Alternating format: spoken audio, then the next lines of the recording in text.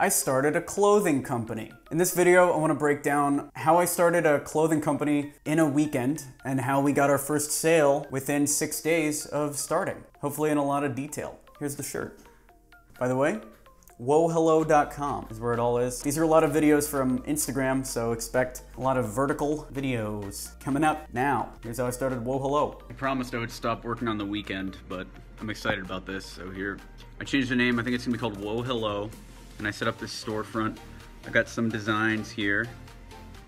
I don't follow fashion.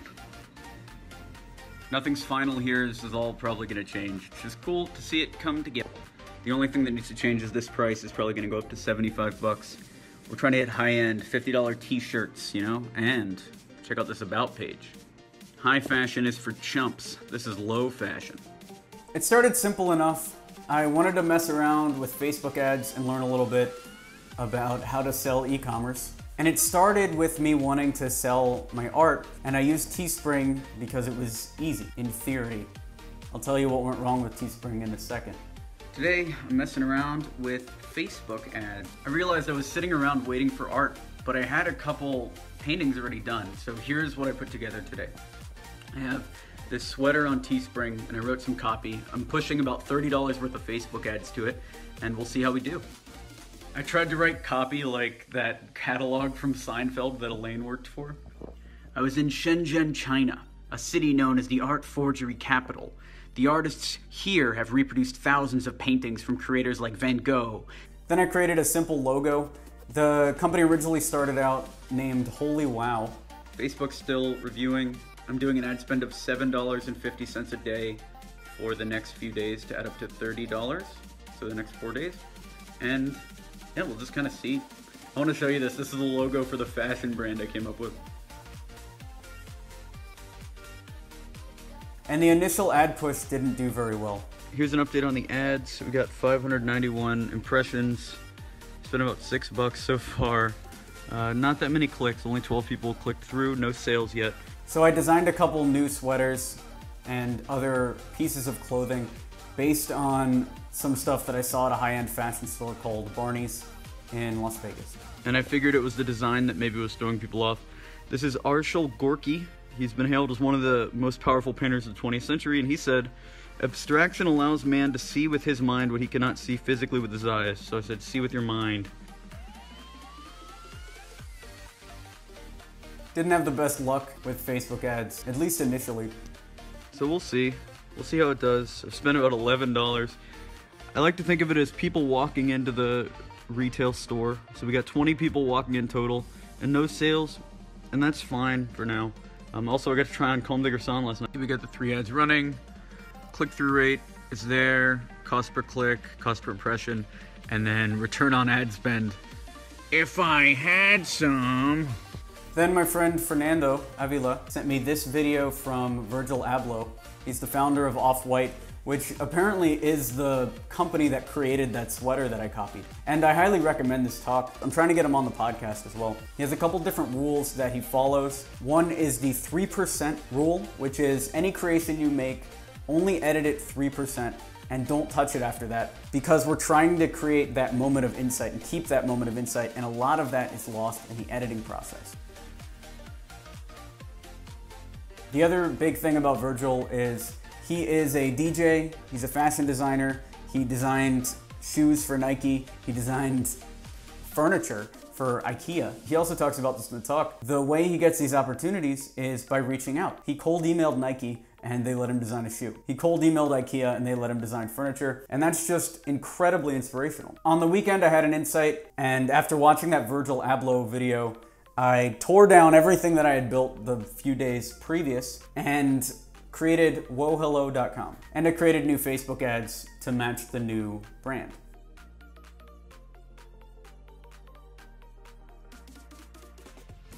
The next day, which was Monday, I was talking about it constantly on Instagram, and people started giving me feedback on the business as it stood currently. I was using Teespring completely. It didn't even have a custom domain. It was like wohello.teespring.com, something like that.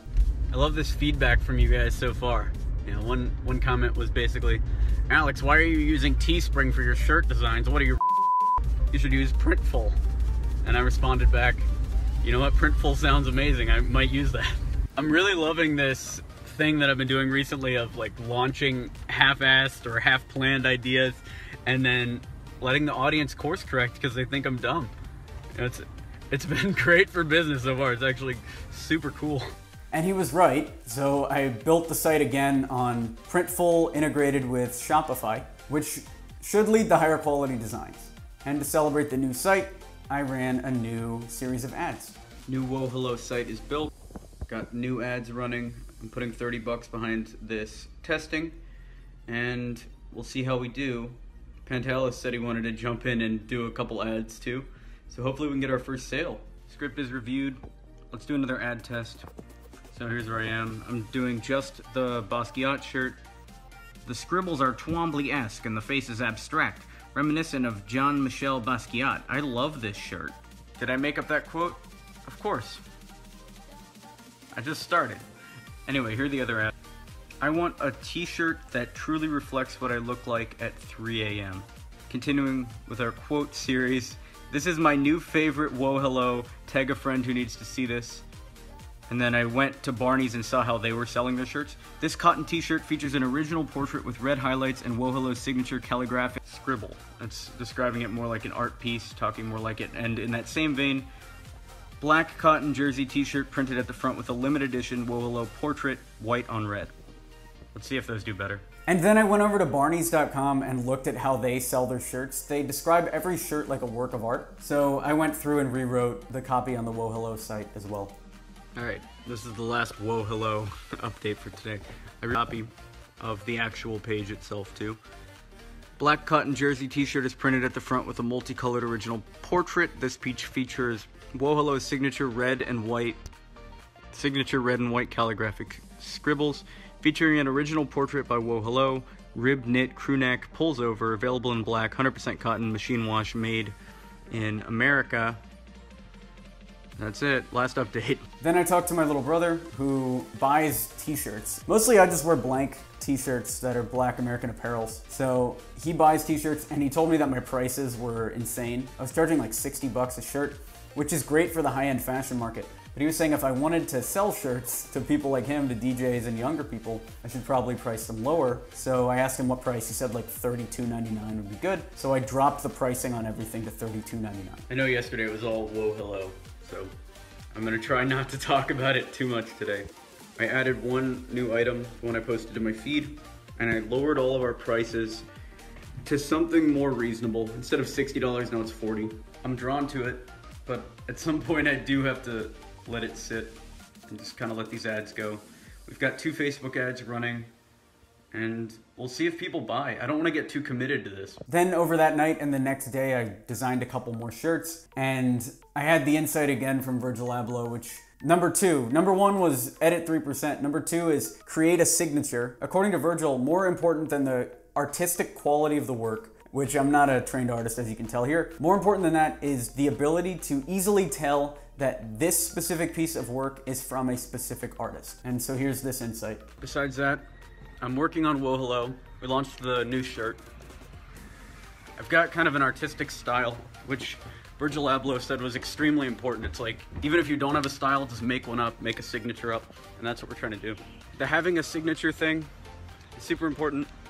Check these out. This is the four shirts. These are the four shirts we have on Whoa Hello right now and they all look like they're from the same artist. I don't think I've ever drawn four pieces that looked similar before. Then I got the shirts that I ordered on Sunday from Teespring, and I wasn't really impressed with the quality of most of them.